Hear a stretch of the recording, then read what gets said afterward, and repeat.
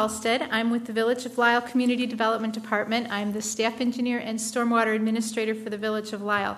We're here tonight. The Conservation Foundation has been working with us, and they are, are going to present a program on the state of the DuPage River. And the village, I want to say the Village of Lisle is a member of the DuPage River Salt Creek Work Group, and our speaker tonight is, is spends a, much of his time working with that group. It's a consortium of, I'm not even sure how many, quite a few municipalities, wastewater treatment plant operators, and environmental groups, other environmental, I'm sorry, other governmental agencies and consultants that, that have come together for the common goal of trying to improve the quality of the water in the in Salt Creek and the east and west branches of the DuPage River. Um, so Stephen McCracken is with us. He's the director of watershed protection for the Conservation Foundation, and he's going to talk to us about what the DuPage River Salt Creek Work Group has been doing and the state of the DuPage River.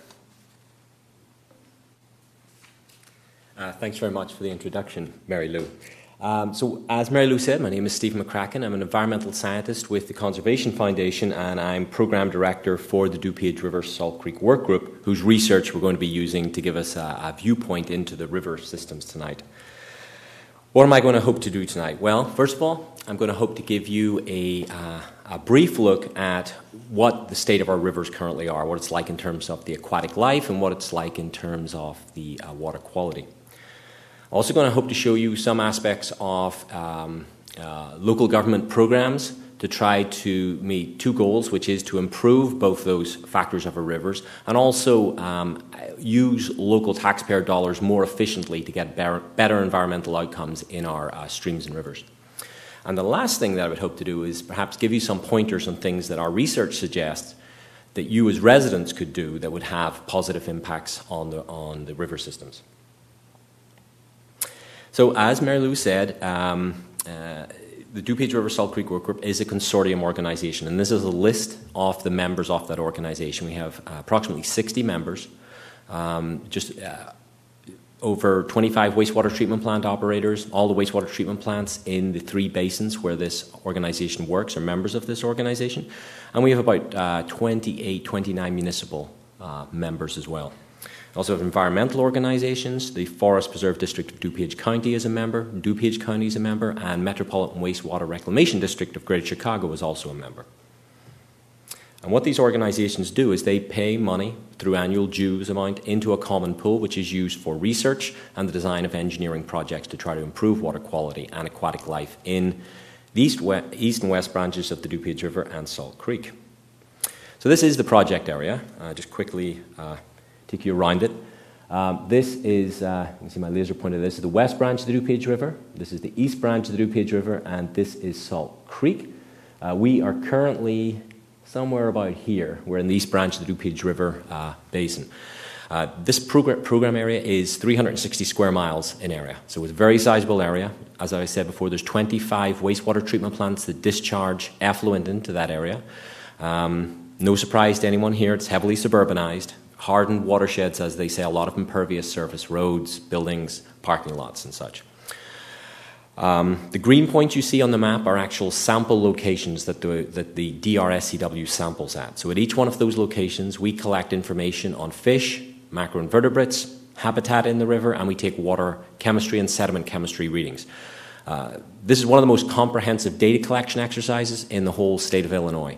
Um, and the reason that it was done was that a lot of um, local government entities felt that the taxpayer dollars were not being spent in the most efficient way to get us the best outcomes on these rivers. And in fact, um, everyone here lives in a village that has a permit that has to meet certain goals, be it for wastewater or for stormwater or for both. And there, the, to be frank, um, a lot of the what is being asked of those permits is very, very expensive. Um, a lot of the stormwater and wastewater operations that go on in these watersheds are pretty much invisible to a lot of the residents. Um, but wastewater, for example, wastewater infrastructure is probably the single biggest capital investment that any of these villages have to make. Uh, so it's a very, uh, it's a very capital intensive uh, in terms of uh, money uh, business. Um, a few other things worth knowing about these waterways is um, uh, most of these streams during the summer months are largely wastewater effluent. In other words, it's water discharged from wastewater treatment plants during the summer. About 85% on average of the three waterways is uh, flow during the summer months is from wastewater. Uh, streams are very flashy. When stormwater falls, it tends to move into the streams very fast, and the level of the streams climbs uh, very fast. Um, so, uh, you know, that is a, a not a natural um, uh, flow regime for a river, so it leads to erosion in the river system itself, and it can also, of course, lead to, uh, quite frankly, to flooding. Okay, as I've already said, this is a pretty typical scene from our uh, pro- uh, project area turf grass down to the river system, this very straight channel in the river. Um, this is one of our crews here out collecting uh, fish in this case. Uh, we use an electric shock system uh, where we uh, temporarily stun the fish so we can capture them and then we sample them and we record weight, species, etc. So, a couple of terms that I want to address before, before we move on. Macroinvertebrates. Essentially, what we're talking about here is aquatic insects. you see here I have a dragonfly. Dragonfly is an aquatic insect, in fact, not the adult phase but the juvenile phase, it actually is a, um, they live for anywhere between uh, three to four months to two years in waterways, before, depending on the species, before they um, graduate, as it were, or, uh, into this uh, adult phase that we're familiar with. Um, just kind of linking to the earlier presentation we had tonight about um, uh, upland vegetation and, and, and native habitat. When you're looking to get macro uh, invertebrates in a stream, if you do not have anywhere for those adult phases to live, it does not matter how well you've, you've uh, done in the stream in terms of water quality, because those adult phases need somewhere to live too. So you can't, like the monarch butterfly, you can't fracture one part of its life cycle and then expect it to be around. It's got to, you've got to kind of look at it throughout its entire life cycle and make sure that it's catered to in all, all of those aspects. Macroinvertebrates are very important for a second reason. We are legally mandated within our waterways to have a certain quality of macroinvertebrates. That's what tells the state and the federal government that the, that the stormwater effluent and the wastewater effluent that we're putting in those rivers is meeting the goals of the Clean Water Act, which was passed in 1972. If you fail to have those levels of macroinvertebrates within your stream, then uh, you enter into a uh, regulatory system where the state and the federal government can demand that you make upgrades to your wastewater system and in the future, we suspect, the stormwater system as well. Now, we take these macroinvertebrates and we, we dissolve them down to a single numeric factor, you know, a single, um, you know, uh, like a score. And uh, this factor is called an MIBI. So tonight I will call it a macroinvertebrate score, but essentially it's just a single score where we, we sample the population and we're able, there's a, uh, an agreed upon um, metric where we can collapse it all into a single score. And we do the same for fish. Now, I also do the same for habitat. And I'm not going to go through this whole slide. Just want you to know when I talk about habitat, I'm referring to very specific things. It's not about going to a river, looking at it, and going like, well, I see a lot of green. There's green grass, there's green trees, looks like good habitat. That's, we know from looking at populations in rivers that's not enough. So we look at the substrate of the river. Is it muddy? Is it gravel? Is it, is it cobbly? Uh, we look at the bank vegetation. How wide is that bank vegetation? What type of vegetation is it? Uh, are the banks eroded? Um, we look at the, the channel form. Is it sinuous? When you see an aerial photograph of a stream in a rural area, it's not a canal. It's a river. The energy within the stream um, allows it to uh, move from side to side, usually like a sinuous, like a snake. Uh, it's called meandering. Um, you see, our river systems here have done that. We've straightened them um, to, to gain land and to also uh, try to convey water out of our, uh, out of our metropolitan areas faster. Um, the other thing is the rivers typically they vary throughout their course. You get areas where they go fast, areas where you've got pools. These are called pools and riffles. Um, uh, very important for fish habitat, that, but we've totally eliminated those from a lot of our systems. So we measure each one of these things at each one of those sites and uh, we collapse that down to a single numeric score too. And what this allows us to do is look at variation in fish, bugs, towards all these water chemistry and habitat features. I'm not going to go so much into the water chemistry tonight because most people are already familiar with that. When people talk about pollution, people think about smokestacks putting you know, solids into the air. They think about you know, effluent coming out of a wastewater treatment plant. You, in terms of uh, management of river systems, you need to think much, much broader than that. I want you to think not about pollutants, but about pollution. So I want you to also think about buildings being built in that stream corridor. I want you to think about riparian vegetation being removed. I want you to think about straightening of, of a stream corridor. We know that straightening stream corridors is every bit as uh, impactful on aquatic life as putting pollutants in. And that's, that's something that's st- withstood scientific scrutiny. And by the way, I forgot to say at the moment, I quite well, welcome to take uh, questions during this presentation. So if I say something that you're not sure about or you want me to reiterate, I'm only too uh, happy to answer it there and then. I, much, I prefer that, actually. Okay, so we enter the testing phase of, the, uh, of, of tonight's presentation. This is a fish that was caught in the east branch of the DuPage River. Does anyone want to care to try to identify it? This is the most recognizable fish in North America. Not carp. This is a largemouth bass. Um, actually taken here within the village of Lisle. You see, it's a sizable fish. Uh, you can tell it's a largemouth bass because it's got a very large mouth. But there's a couple of other features on it. You can see this black line, uh, this kind of wide black band running from its gill area down to its tail. That is pretty common in, in largemouth bass. The other thing is when its mouth is closed, the hinge of the mouth is actually back behind its eye. That's how, how you can tell the difference between a smallmouth and a largemouth. Pike, northern pike. This is a 32 inch northern pike. It was, it was actually caught on Salt Creek, immediately downstream of the, um, of the Fullersburg Woods Dam. Once again, it's good fish for demonstrating how, how the difference between what we see as pollutants and pollution here. This fish, for example, is only present in Salt Creek downstream of the Fullersburg Woods Dam. It's not present upstream. Can't get past that dam, so it can't repopulate the upper, upper part of the river. And that's a very important observation to make. And Jim, you can answer these too. Walleye. this is a walleye. This is a 28 inch walleye. We caught this on the east branch of the DuPage River. Um, this is uh, actually down in Naperville. So if you know the, the Riverwalk area in Naperville uh, along uh, Royce Road, that's where we caught this fish. Now, um, we don't go fishing with a rod and reel. We go fishing with a 1,000 volt generator. And uh, when we do, when we stun these fish, you see, then we capture them, we, we measure them, and you know, uh, we, we record all that information. This particular fish, when it was caught, um, you know, we then put it in a thing called a live well. And because it was a larger fish, it got quite stressed in there. Sometimes, especially um, fish can sometimes their gills uh, receive some capillary damage when you shock them. So this fish was a little stressed. We actually held it in the riffle after we captured it and had measured it. Um, a lot of oxygen produced within these riffle areas. You can see the water here is uh, running a little faster. And so we nursed this fish back to health, had to hold it there for four or five minutes, and then it swam away by itself. But it was a, a very beautiful fish. It was quite a thrill to, uh, to, to catch it. Smallmouth bass, well done, smallmouth bass. And actually, here, once again, you can see, uh, once again, still got a pretty large mouth, but not quite as impressive as the uh, largemouth.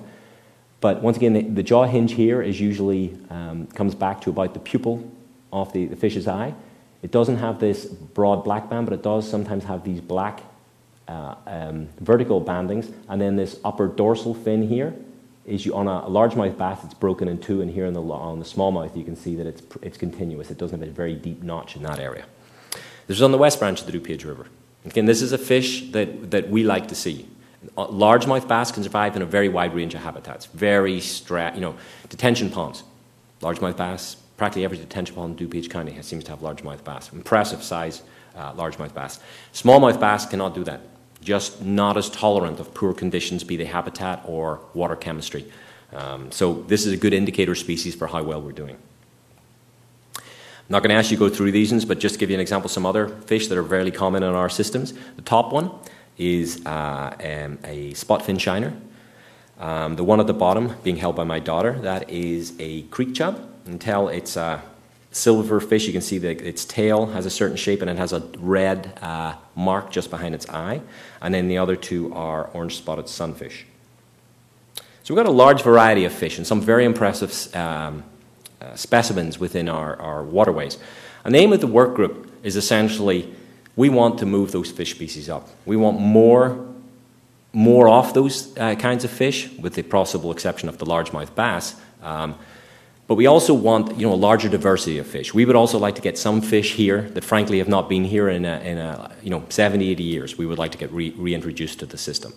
Uh, and as I'm saying, it's, it's, that's an environmental goal, but it's also, in fact, a legal goal because we are held to the, uh, the Clean Water Act that tells us we are supposed to have a certain diversity of fish and macroinvertebrates within our system. This is a map of the west branch of the DuPage River. And this is uh, a work group survey that was done in 2006 and 2009, as you can see at the top of the, uh, the map.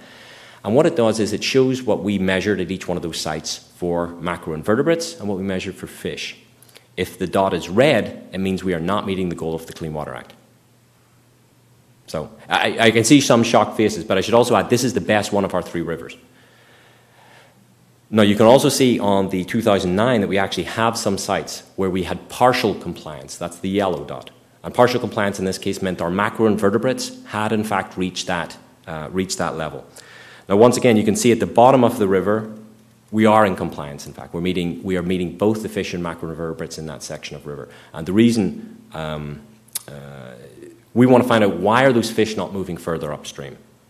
We want to make sure that we can remove that barrier and we can get them upstream. Because once again, environmentally, that's something that you know, a lot of us are passionate about. Um, but it also will save taxpayer money because we are, at the moment, the only tool that the state and the federal government has for making that happen is to increase treatment of wastewater outfalls. Now, as I was saying about the small or the uh, northern pike, it cannot get upstream because of the barrier of a dam.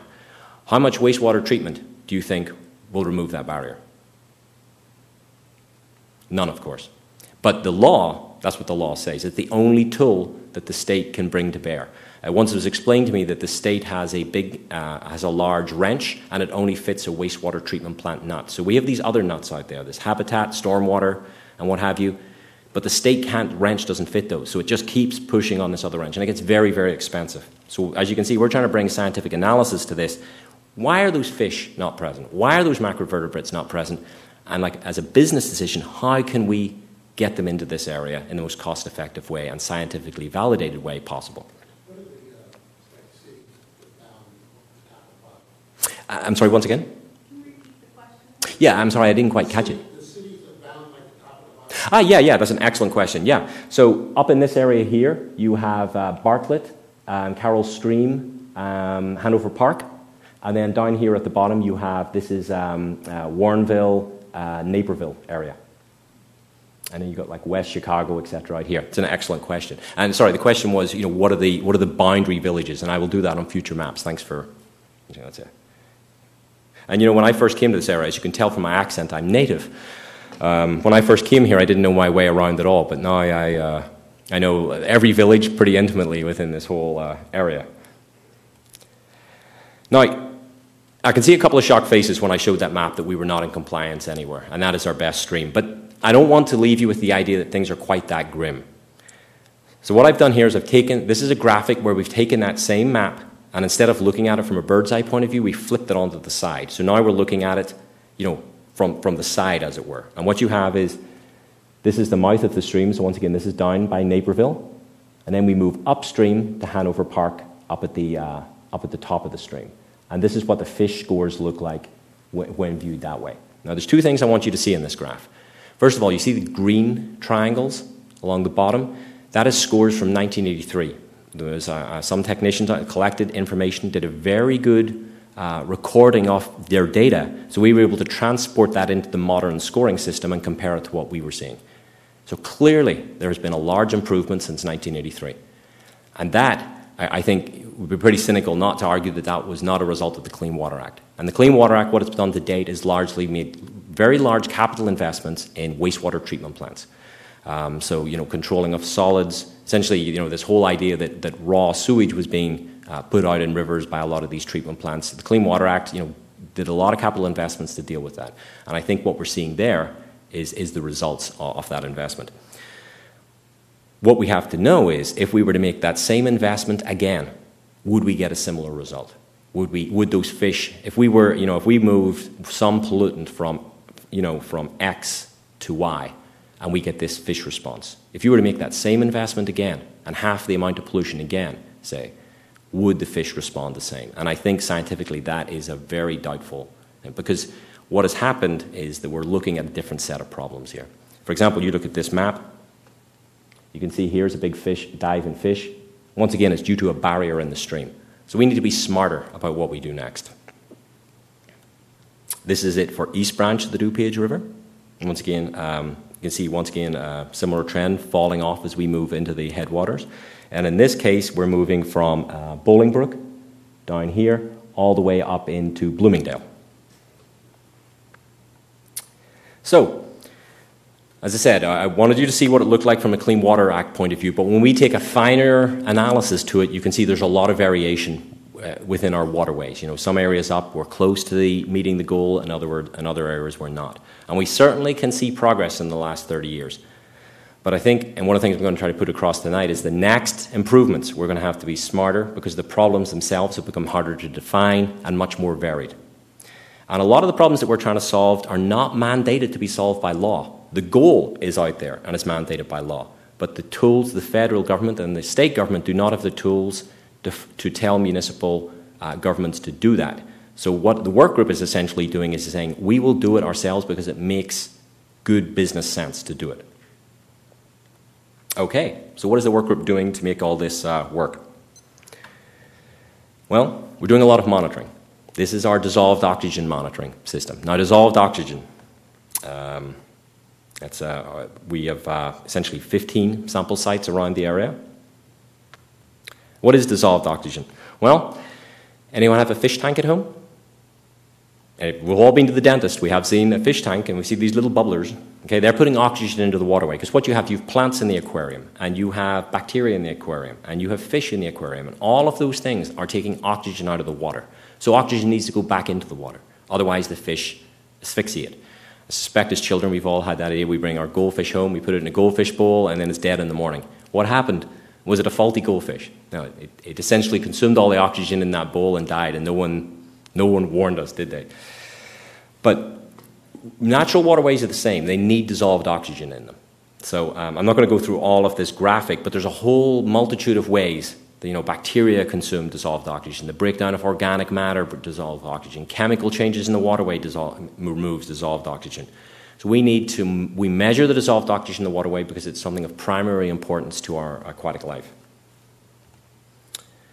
Also, temperature is also something that affects. They get warmer in the summer. In fact, you know when you boil an egg and you start to see those bubbles coming out? That's gas being expelled from the water by the, heat, by the water uh, temperature heating up. Now, that happens in riverways too. It's just not quite as spectacular, but it. So, this is what dissolved oxygen looks like in a waterway. This is two days. You can see you've got like a roller coaster type effect. It goes up, then it goes down. During the day, sunlight hits plants, photosynthesis happens they, ex, uh, they expel oxygen. So the oxygen goes up in the waterway. However, nighttime comes, shadows fall across the river. Those plants go, it goes into reverse mode. They start taking in oxygen. Oxygen goes down. So we monitor this at a number of sites to try to see that this doesn't fall beneath the state guidelines. State guidelines, um, you know, state, the state says that dissolved oxygen should not go back between uh, underneath 3.5 uh, milligrams per liter during certain months of the year. This is what a map of dissolved oxygen looks for on the East Branch. Now, it looks very busy. There's just one thing I want you to see. We started monitoring at one of those sites on, in uh, the end of April. And I think you can see up there which one I'm talking about. It's this kind of aqua one. You can see how much larger these daily fluxes are. And that's because there's a lot of more aquatic vegetation in that piece of the river than there were in the other sections. Algae, essentially. So when all that algae gets hit by sunlight, it really produces a lot of oxygen. Well, that should be good, right? I mean, a lot of dissolved oxygen is what the fish like. But then night comes and it depletes oxygen. So we at sites like this, we see a lot of early morning uh, low dissolved oxygen issues, and that's a problem. The site that we're looking there actually is the impoundment of the Churchill Woods Dam. So you can clearly see in a dissolved oxygen sense with algae, that dam was something that we needed to take a look at. And once again, the Churchill Woods Dam is up in uh, Lombard, Glen Ellyn. It's about halfway down the river basin. Uh, we produced a model in 2009. Uh, no, don't lie, it was 2007 for the river, uh, using the information. Um, essentially, just looking at the river from the side here. And as you can see, the dissolved oxygen is the long black line running through the middle of the, uh, off the map here. This is the Churchill Woods Dam right here. You can see once again, just due to the amount of sediment backed up behind the dam, we were predicting that there was a very low dissolved oxygen sag there. In fact, monitoring off the river, this model is based on, on data that we collected in the river system that confirmed that. So, once again, this site became something of a lot of interest to us. And we were able to model that if we removed the dam, a lot of the dissolved oxygen problems at the site would be maybe not cured, but certainly improved. Now, what the state had wanted to do at that time was to upgrade two wastewater treatment plants upstream of that dam.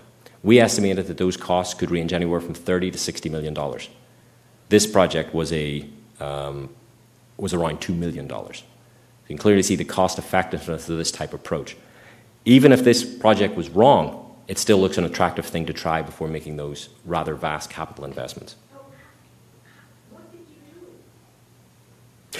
This is a modeled output. This is, this is a model. So what you do in the model is you have you monitor the stream as it is, you take data from the stream as it is, and then you get the model to predict what you're actually seeing in the stream. So you know we've 24-hour data collected by these instruments. So we take a three, four-day period and we try to get the model to predict what is happening during that period of time. What that allows you to do then, once it is predicting reality, is to make changes. So we, what we do is remove the section where the dam is, and we draw it like it would be once the dam comes out, and then the, uh, the algorithms within the computer model then says this is what would happen to oxygen in that waterway when that comes out. Now, the other reason we were interested in Churchill Woods Dam is because dams do not produce good habitat. I mean, this is a river. We are supposed to have river fish in it. When you put a dam on a river, you turn it from a river into a poor, very poor lake. Collects sediment, slows down water, floods out, um, floods out the riffle and pool sequences. And essentially, what you have here this is uh, Churchill Woods is here. This is our habitat score for the river. So once again, just up is good, down is bad. You can see actually it was one of the worst locations on the entire river. And that's why that should be a little shocking is generally when we walk into forest preserves, we monitor within a forest preserve, Churchill Woods is a forest preserve, those scores all go up. So here, to have it very low in a forest preserve is a telling, you know, tr- against the trend of what we saw at other sites. Uh, so at this point, the work group was then very interested in uh, Churchill Woods Dam. This is the impoundment. It's a 33 acre impoundment, once again, East Branch DuPage River. So this dam was actually taken out at the beginning of last year based on our, on our recommendations. Um, here was the dam being taken out. And I should say at this point, I want to thank DuPage County Division of Stormwater for working on the project and um, the Forest Preserve District of DuPage County for allowing us to rip a dam out on their, on their uh, land. This is what the site currently looks like as it drains down. And this is the site of the current, um, uh, where the dam was, uh, essentially. Now, this graphic was just put together today, and I'm sorry it's a little scrappy, but uh, well, actually put together last night at one o'clock in the morning. I don't do my best, uh, best graphs, but uh, what this graph shows you is what the fish scores looked like in 2007 and 2011. Now, the little white icons are 2007, the little white boxes, the little white boxes with the cross in them are 2011. Now, I, I want you to ignore the, the, um, this side of the graph. Oh, I've lost my laser pointer. Oh, maybe not. This side. I want you to look here. This is the Churchill Woods Dam. So, what we are seeing is that we're estimating, this was based on a survey in 2011, that the fish IBIs at those sites leapt by 11 points. Um, so clearly, we are getting fish moving up into the site. Another benefit was we actually also see fish IBIs in this area, this is up in Bloomingdale, also increased. Now we need to look at those species. If those species were not present prior to that dam coming out, and we're still working on this, but we have to see if those individual species, that means those species have moved up from behind the dam all the way up into that area. So that, that was an added benefit of getting, getting the dam out. Now, you may also note that, in fact, in 2011, our study would suggest that at a lot of sites, actually, the, in the, this downstream area, the fish went down. I can't explain that yet. That is, we're working on that to explain why that is now. But it's the value of collecting this data. We do this every. we collect this data every three years in the basins, and of course, as changes happens, it's a warm year, a lot of snow or whatever, we can track those changes and predict why they happened, and then make good management decisions based on that. But nevertheless, it's very satisfying to see a biological result like that. That means that fish species are now present in that part of the river that hadn't been present there for perhaps, ooh, 50, 60 years. Okay, next big issue salt. Back when we had winters in Illinois, uh, streams used to do something like this. So, what you're looking at on this graph is um, the blue line is temperature. And this is in a river. This isn't a river, this is actually on Hobson Road, which is down in uh, Woodridge. Um, so, what you're looking at is, uh, in fact, when you're on that road, if you drive over the river, if you look on the south side of the bridge as Hobson Road goes over there, you'll see a large uh, gauge PVC pipe on the thing, and that's where our monitoring station is. Um, so the blue line is temperature in the river, and the orange line is chloride concentration in the river. So chlorides are, of course, sodium chloride, what you table salt basically. It's a, it's a larger crystal version of that, but um, essentially we use that because it's very, it's relatively cheap, and it's very efficient at lowering the freezing temperature of water, which of course allows us to help fight snow and ice with it. So what I want you to look at is, oop, this bit here. So what you have here is a storm coming in um, as the air temperature goes down and uh, snow starts to fall and that cold water starts to run into the river, as well as just the ambient air temperature falling, you get the temperature of the river going down, and you can see here, blue line, you can see it fall away. But look what, the, look what happens to the uh, chloride concentration. Spikes up like that. And that is because, of course, it starts snowing. Our public works crews go out, they start to apply salt to the road, that salt starts to melt, snow and ice, and that snow and ice then is high chloride concentration and it goes into the river. Chloride's a very, very interesting pollutant. It's good for a lot of special properties that we don't think about. For example, um, it doesn't degrade. You take a jar and you fill it, you know, to a certain concentration with salt. You put it on a shelf and you leave it ten years. You come back. If anything, the concentration of the salt will have increased. How does it increase? Because probably some water has managed to escape from the jar, but the salt will not. So it doesn't degrade in the environment. A lot of our other pollutants, oil, grease, uh, that kind of thing, you know, they break down in the pollutant when, they're, when you know, sunlight or bacteria can act on them. Doesn't happen with chlorides. Essentially, in the environment, when you pollute a unit of water with chlorides, it's there forever. We can't, there are ways to get it out, desalination plants, etc., but they're all very, very expensive. Some of the some of the new products that are using instead of salt are they working better being now? I, yes, uh, so the question was were some of the newer products working better than salt? And that's a two pronged question, and I will actually get to that on the next slide. And it's an excellent point. So this is West Branch of the DuPage River. The little boxes are 2006, and the little black circles are 2009. Um, can you see a pattern in that? Anyone want to take a stab at what they're seeing? Once again, black bo- the little black ones are 2009, and the little open uh, squares are 2006. And essentially, what you have here is this is the river system. Once again, this is the mouth of the river, and this is the uh, headwaters up in Hanover Park, and this is down in Naperville. Anyone want to uh, put?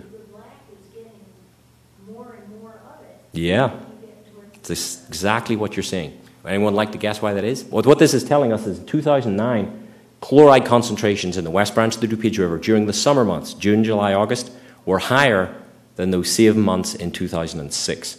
Does anyone want to guess why?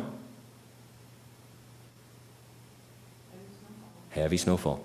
Twice as much snow fell in that winter. But the reason I like this slide is it just shows you, you know, our actions today now have an impact on the river that we can measure. Um, in response to these heavier chloride levels, are, are the, the uh, the macroinvertebrate scores slid in those waterways. So we were able to measure higher, salt, higher snow, there were higher chlorides in the river, everything else looked pretty much the same, and those macroinvertebrate scores went down. So that does two things. Tells us just how uh, responsive the system is, but it also allows us to measure management responses. That means if we were to control salts by a certain amount, that we can expect a certain amount of macroinvertebrate return for that here are our alternate products. So, has anyone seen, of course, not so much this year, but in previous years, seen these lines on the road? Well, it, it, it, there's beet juice in there, yeah. And essentially, it comes from sugar beet. It's a carbohydrate, but most of this is actually salt water. So, it's, it's the largest percentage of it is just saltwater brine. And it's usually put down at about, uh, I think it's uh, 23% vo- by volume is salt. Um, This is a much superior system, shown in a number of ways, much superior to just putting down dry salt. Dry salt does not melt ice. Salt needs to start going into a solution in order to dry. So putting dry salt down is a very inefficient way, both in terms of the results, melting snow and ice, but also in terms of just the cost, the quantities that, that, are, that are put down. Um, so this was, uh, then somebody said, well, why don't we put it in liquid already and apply it to the road? And of course, as you see here, it's being applied to the road when there's no snow and ice present. The reason for that is that you can get out ahead of a storm, you get it down, the ice does not bond to the pavement, and then it's easier to, uh, to use, uh, push off using a plough. So uh, this particular picture is from one of our members, Hanover Park, in the West Branch of the DuPage River. They've had a very successful program. They have really limited, um, I can't remember the exact figure, but they have nearly half the amount of chlorides that they've been using using this program. So, in answer to your question, ma'am, yes, you know, it's something that we push very readily and they see, it seems to be very effective. Interestingly, though, we don't know why the beet juice works. It does not seem to be a freeze point depressant like salt does. So, the, the kind of thought out there is that perhaps it helps because it's got a very sticky consistency is perhaps it helps maintain the salt crystal on the road instead of having it knocked off by vehicles or by wind or, or, or whatever. So that's, but to be honest, we're, we're not entirely sure. We cannot make it melt uh, snow and ice in the, in the lab. So.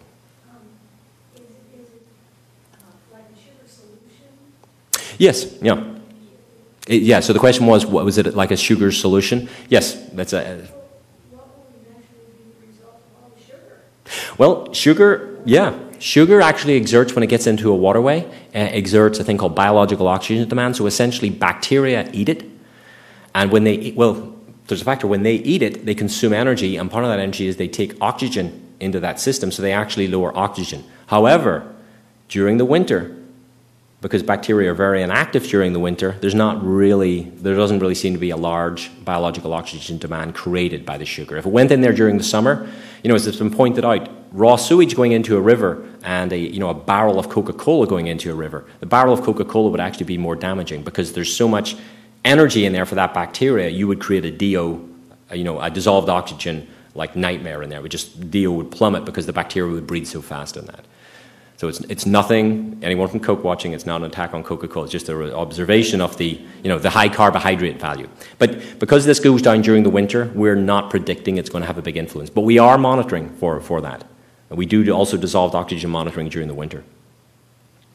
This is actually uh, this process called anti-icing. This is a road in Hanover Park that was treated with it. One side of the road was treated prior to the storm with anti-icing with the liquid. One side of the road was not. I think it's quite clear which one was which. The other good thing about this is, of course, you know, the road does not get slippy. You know, you're not, you know, when you compress snow on the road and it turns into ice and stuff, this helps that prevent. So there, this prevents that from happening. So there's actually some studies out there I've seen from Canada and Minnesota that suggest that traffic accidents actually decrease with this kind of treatment.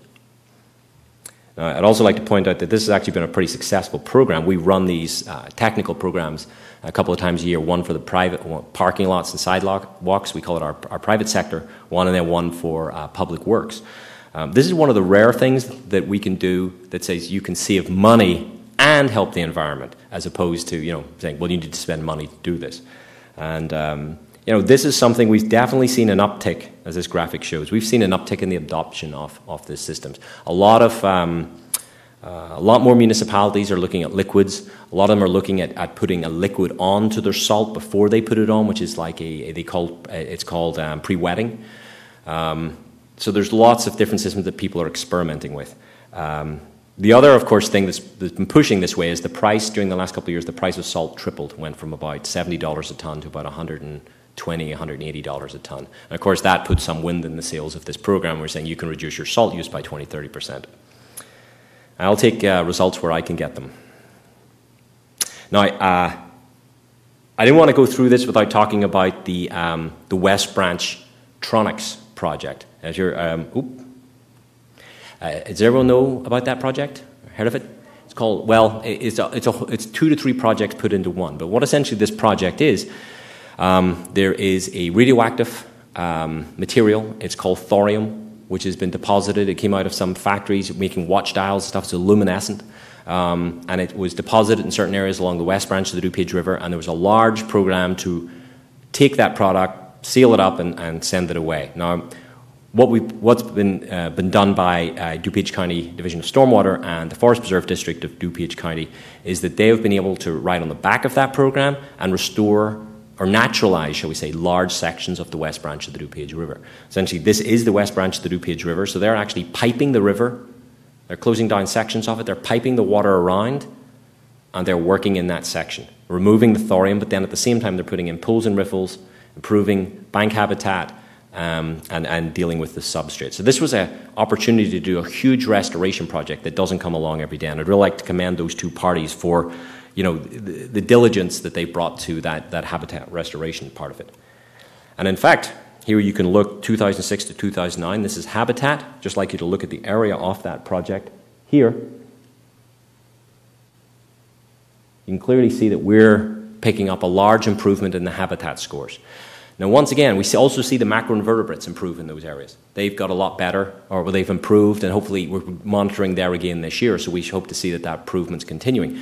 But we're not predicting that the fish species are going to pick up because there are barriers downstream to the fish movement, and until those barriers are addressed, the fish are not going to be able to populate those areas. But we think the habitat is getting to the scale now where those, a lot of those fish can certainly move into that areas if they could swim up there. And that is a problem that we're looking at, at uh, resolving. Once again, that's the area. Okay. Um, so when we're looking at this, why are fish present and bugs present in one area and not in another area? Now, I wasn't, I've got all the statistical stuff that I do at, at, you know, I'm invited to speak at seminars and about, and I'm going to spare all of you uh, that tonight. Um, but essentially, this is what came out of our analysis. You know, we've been working on this for about five, six years now. And uh, these are the things out of about 44 different things that we looked at. These were the most important things for describing why we had fish in certain areas and, um, and bugs in certain areas and not in others. Now, dams are not a component of this, I would just like to point out. They have been taken out to one side because they're not present in all areas. We don't have enough data to compare them across all the data sets. But essentially, you can see five of these things are physical. You know, pools, substrate, that's the, the, the floor of the stream, channel, that's how sinuous the channel is or how straight it is. The more sinuous, the better. Uh, the riffles, these are these little like rock um, outcrops within the floor of a stream where the river picks up speed. Um, and then the riparian area, which is this uh, uh, is the vegetated area beside the stream. Once again, you know things like some of those make sense, but the riparian area, why would that be important? Well, once again, going back to Jim's earlier comments about having upland area, uh, you know, for butterflies, etc. It's the same as I was saying earlier for a lot of these aquatic insects the adult phase needs somewhere to live once it comes out of the stream. You cannot take away the area where the adult phase of an insect would, would, would live and then look in the stream and be surprised you couldn't find the juvenile phase. You know, it's, it would be surprising if you did, in fact. Um, but then we also found chlorides, nitrogen, ammonia, and, and oxygen demand were also big, big explanations. So putting all this together, what can, what can concerned citizens do? Now, I've taken you through what your, your a lot of the stuff that your, your um, local government is doing. You know, working on the dissolved oxygen, removing dams, um, you know, we're looking at controlling the amount of chlorides going into the waterways, and we're also looking at upgrading habitat in a lot of areas. You know, we're looking at sections of stream. We're looking to put together a fund where we could tackle those sections of streams. And our argument is, if we do this, we will save money from investing it in wastewater treatment plants. So we'll get a better environmental outcome for less dollars. But what can private citizens do? Well, I, I put together a, a, list here of things that I, uh, you, know, you know, I observe and I think can, can help us. And the first one is uh, salt smart. You know, when you put salt down around your house, that salt gets washed off your driveway, off your steps. Remember, salt does not break down. So at some point, it works its way through the system, into the storm drain, into your detention pond, and out into the river. How much salt do you need to put down?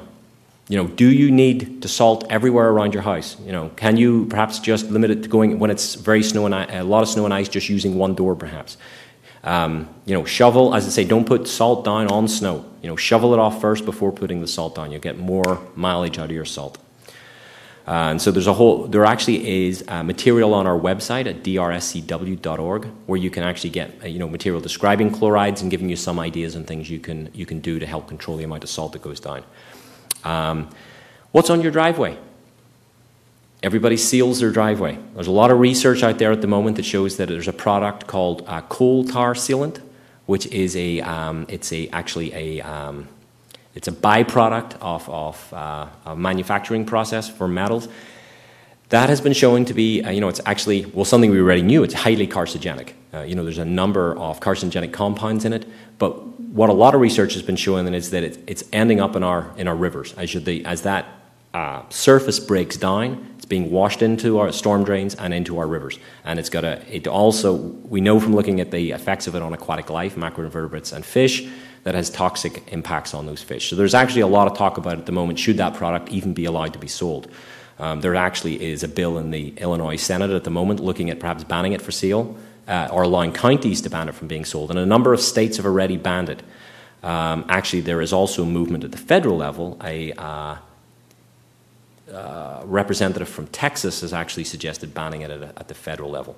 But I think if you were concerned about water quality, I would go with another type of sealant. I would ask if you go to uh, Home Depot or Lowe's, they do actually sell the coal tar product anymore. But I would look for another one. Once again, on our website, if you go to our website, there's a, a flyer there directing you to other products that, that, are, that are better for our streams and rivers. Um, riparian area. If you live beside the river, I would really encourage you to think about doing some of the things that Jim was suggesting right on the stream bank. You know, those dragonflies, when they, when they leave the water, they need somewhere to hunt. Um, dragonfly is one of my favorite insects, you know, and it's like, it always astonishes me that how few people know that they are an aquatic, you know, they start life as an aquatic insect. Um, so, you know, that riparian area beside the stream we know is very important for those um, adult phases of those, of those uh, insects. But also, you know, inland, even if you don't live beside the river, even if you live close, the more native vegetation that you have in your garden, I suspect, and once again, this is me kind of thinking forward, and I'm not speaking as a scientist here, but I would be uh, astonished if that, uh, if those, um, if we could didn't increase the amount of uh, upland vegetation we had that was native, and we didn't see some sort of response uh, to that, because essentially you're creating a buffer that may not be beside the stream, but would be in the, uh, you know, would be in the watershed. Um, know the difference between your storm sewer and your sanitary sewer. Your toilet, for example, is not a storm sewer. You don't want to be putting things down, uh, sanitary sewer, for example, stormwater, you know, your sump pump exactly. If you're pumping water out of there, is it going outside or is it going down into the, the sanitary system?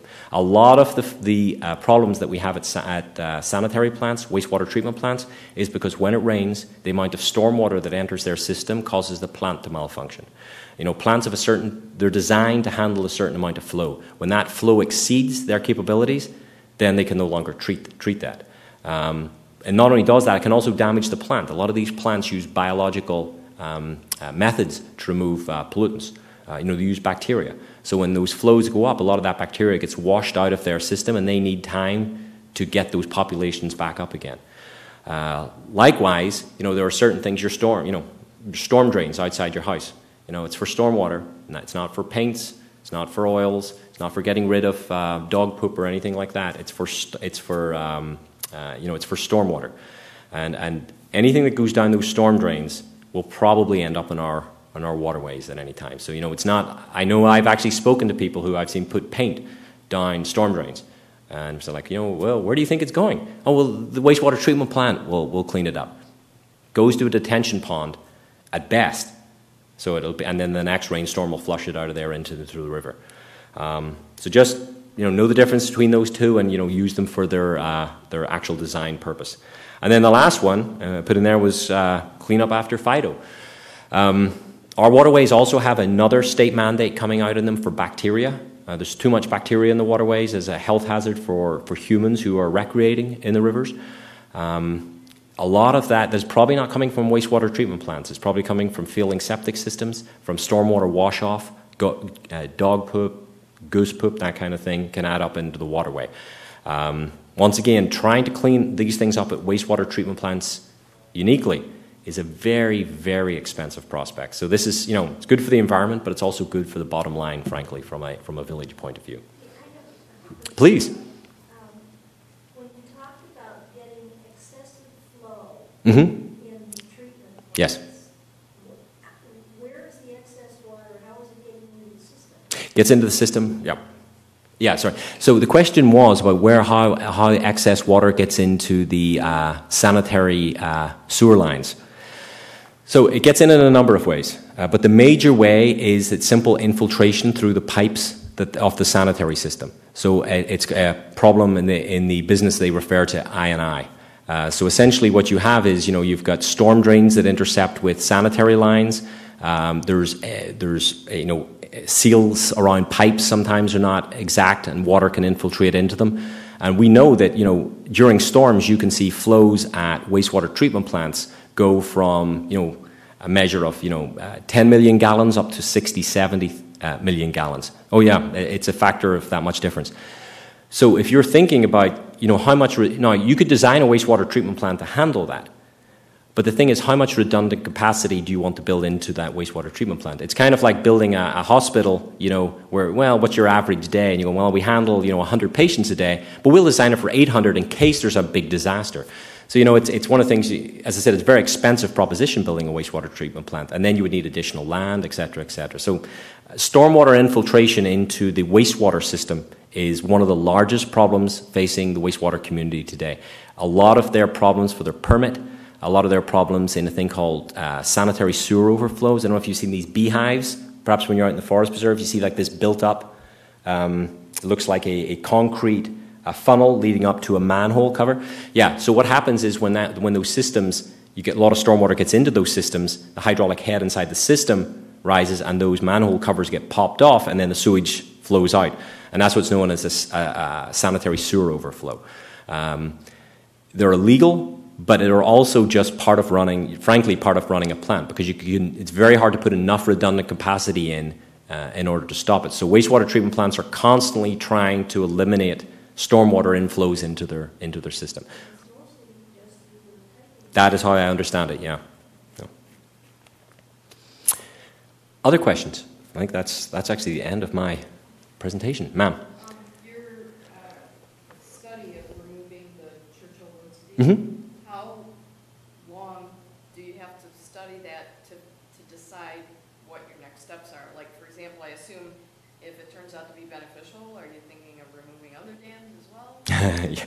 uh, yeah, and we, oh, sorry, yeah. The, so the question was, um, how long are we going to study the Churchill Woods Dam post removal in order to ascertain how successful it was and then to see if we would move on to other projects? And that, that's a good question. And I'm not sure that it's. Uh, there's a couple of ways to answer it. I guess it's one of those things when you monitor it afterwards, you'll know when you have enough information. Um, but we monitor in two different ways. We monitor, first of all, we mon- monitor for biological life. And I showed you one of those graphics tonight for the fish population. And we also do that for the macroinvertebrates. And what we want to see is both of those indicators moving up. That's kind of the gold standard because that shows, you know, the Clean Water Act, what your biological community is like. So if we can make a large, you know, rise in those, uh, that's good. And of course, our argument always was no amount of, of treatment at those wastewater treatment plants is going to remove that fish barrier. Um, the other thing we do is we monitor dissolved oxygen. That's the original thing that led us to that dam, that had very low dissolved oxygen behind it. Uh, so we also monitor that. Um, for the fish populations, we're going to go back and look at that every three years because that's just part of our monitoring uh, setup. And we do that, first of all, to ascertain how well the project worked, but also to see what else we need to do. Uh, you know, the project could not be executed to the full extent we wanted. There was a culvert downstream of the site. So we say we removed the dam. I would like to say technically we removed half of the dam because the culvert's still there and that's st- the river wants to drop down further. So when, you know, when you go there, you say, well, there's no dam here. But from an engineering point of view, yeah, there still is because the river would downcut an extra foot if this culvert wasn't there. So that concrete stops the dam from going down. That's that was something we didn't foresee until we were, you know, in the design process. So we had to kind of, you know, uh, temper our expectations somewhat. But clearly, fish are moving through through the site. Um, for the dissolved oxygen, that's going to be a longer road because you would kind of we we have three years data prior to the dam removal, but we're going to have to the site's disturbed, so there's a lot of material floating around in there that's going to have to clean out of the system. We have to get a year that kind of looks like a year we've already monitored because the air, te- the water temperature needs to be similar, and then we can, you know, say you know how it worked. Last year, and I, I need to go back and look at the graph, but there was not many violations of the DO standard at at the site last year for the first year the dam came out. Typically, during the summer, DO violations were pretty much every week. So that looks good, but I want to control for other factors before sort of, you know. Biologically, it looks good. For DO, I think the, the, the jury's still out. So it'll be ongoing. But there is something just to add to that. We do evaluate all our projects. We don't. It's not something that we just do and then we leave it. You know, we are monitoring what happens afterwards. Did it work as expected? If not, why not? What did we learn from this experience? And the idea is going forward. Yes, we are looking at taking out other dams. Forest Preserve and DuPage County have removed the Warrenville Dam and the McDowell Grove Dam on the west branch of the DuPage River. Our data helps support getting those dams out, and we will then evaluate what the removal of those dams uh, look like. We are also, frankly, interested in the Fullersburg Woods Dam on the Salt Creek. Uh, Northern Pike, for example, not getting through there. there, there there's a lot of investments upstream would need to be made to try to offset the effect of that dam, and they, they, will not be able to do it. So, you know, I think the economic and ecological case is very clear. But uh, you know, it's it's in a you know, there's a lot of that dam has a lot. It's a very scenic area. So, you know, we you know what we're going to do there is going to look a lot different from what we'd like to do at other sites. You know, we'd want to keep that as a real visitor attraction and have assets there that people would still want to come and visit, and perhaps enhance the area even. Correct. Yes. Um, other questions? No? Well, in that case, I want to thank you very much for your attention and excellent questions. Thank you very much.